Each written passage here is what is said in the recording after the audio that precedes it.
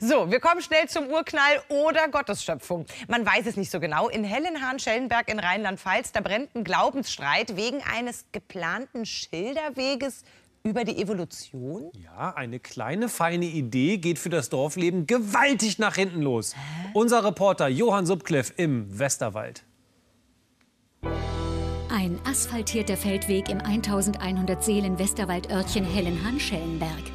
Hier sollten 20 Tafeln am Wegesrand die Entstehung des Universums über den Aufstieg der Menschheit bis zur Neuzeit als sogenannten Evolutionsweg bebildern. Doch daraus wurde nichts. Von Gott oder vom Affen? Das ist hier in Hellenhahn-Schellenberg die große Frage. Hier sollte eigentlich ein Weg zur Evolution entstehen, doch weil er hier nicht drin auftauchte, scheiterte der Bürgerentscheid. Und wir fragen uns, wie hintlerwäldlerisch ist dieser Ort? 339 Dörfler stimmten schließlich gegen den Weg, nur 250 dafür.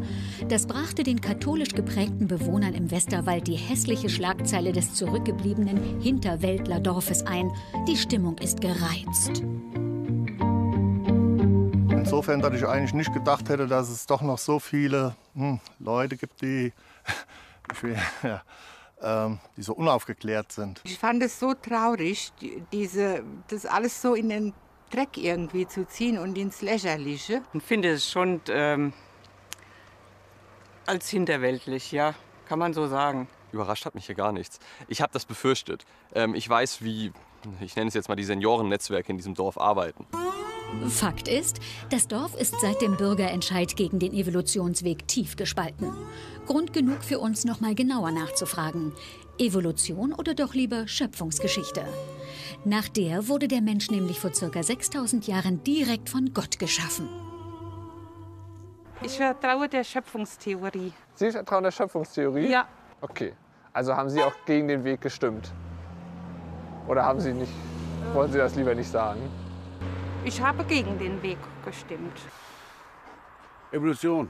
Evolution, okay. Ja. Ich habe dagegen gestimmt, ähm, sehe aber in der Evolution das, was, halt, was ich in meinem Kopf verarbeiten kann, dass das eher stimmt, als dass wir von Adams Rippe gemacht worden sind. Zahlen, Daten, Fakten sprechen für die Evolution.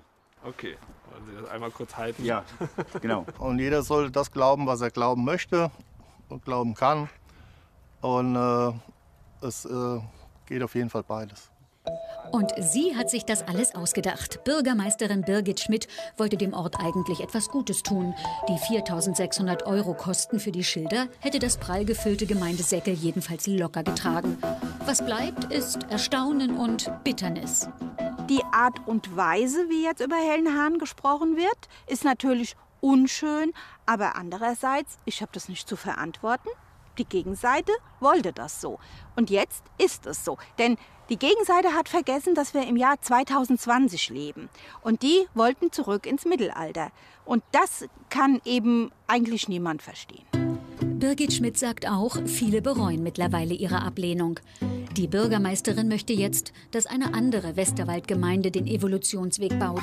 Sponsoren stünden dafür schon in den Startlöchern. Also mein Fazit von einem Tag hier in dem Ort, es gibt Leute, die nicht trauen, ihre Meinung zu sagen, weil sie Angst haben vor ihren Nachbarn. Wegen dem Evolutionsweg. Wegen ihm hier. Ich kann es irgendwie nicht nachvollziehen. Wissenschaft kontra Glauben. Ein Dorf stellt sich selbst ins Abseits.